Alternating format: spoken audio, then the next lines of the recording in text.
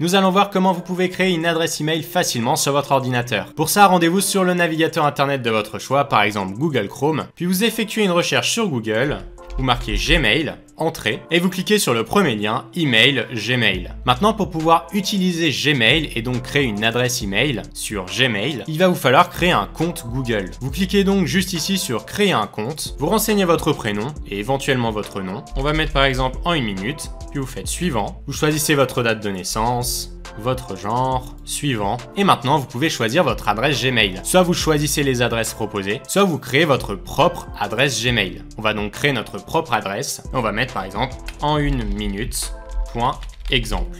Et on fait suivant. Évidemment, si vous choisissez une adresse mail qui existe déjà, Google vous le notifiera et vous ne pourrez pas créer l'adresse mail. Il faudra donc choisir quelque chose d'autre. Vous pouvez par exemple rajouter des chiffres à la fin pour pouvoir rendre l'adresse mail unique. Ensuite, vous choisissez votre mot de passe. D'ailleurs, je vous mets une vidéo en description pour gérer facilement vos mots de passe avec des gestionnaires de mots de passe. C'est très pratique et je vous invite à aller la voir si ça vous intéresse. Par exemple, vous voyez que juste ici, mon gestionnaire de mots de passe me suggère un mot de passe. Je vais donc l'utiliser. On confirme le mot de passe et on fait suivant. Il ne reste plus qu'à mettre votre numéro de téléphone pour valider votre adresse email. Vous choisissez donc le drapeau français juste ici, puis vous rentrez votre numéro de téléphone. Maintenant, vous entrez le code que vous avez reçu par SMS et vous faites suivant. Vous pouvez rentrer une adresse mail de récupération. Pour ma part, je vais faire ignorer pour l'exemple, mais je vous conseille d'en rentrer une. Elle sera utile pour pouvoir récupérer votre adresse email si jamais vous perdez le mot de passe. Vous validez les informations de votre compte, puis vous faites suivant. Pour les paramètres, on va choisir la sélection express. Suivant, on accepte les conditions et les paramètres. Lorsque c'est fait, Google va générer votre adresse email.